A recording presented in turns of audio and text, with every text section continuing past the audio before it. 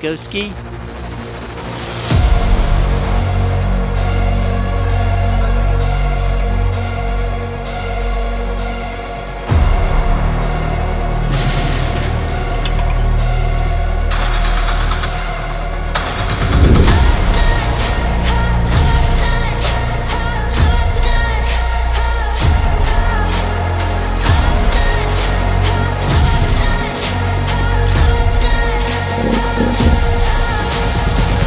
I'm Todd Offenbacher, one of the Ice Axe guides, and we're here in Svalbard. There's all kinds of wildlife here, polar bears, walruses are right behind me over here.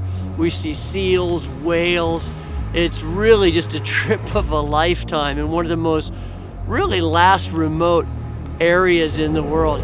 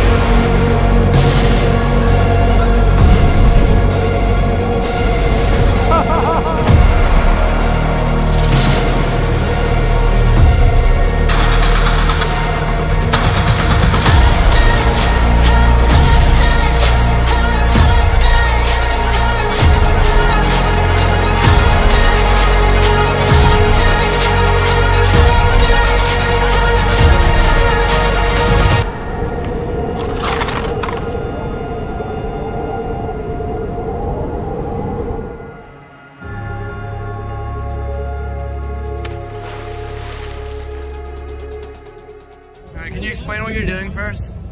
Uh, what I'm getting ready to do is jam this ice axe into this beautiful wood table. and just fuck it all up. No, I'm gonna, uh, I'm gonna, I'm an expert.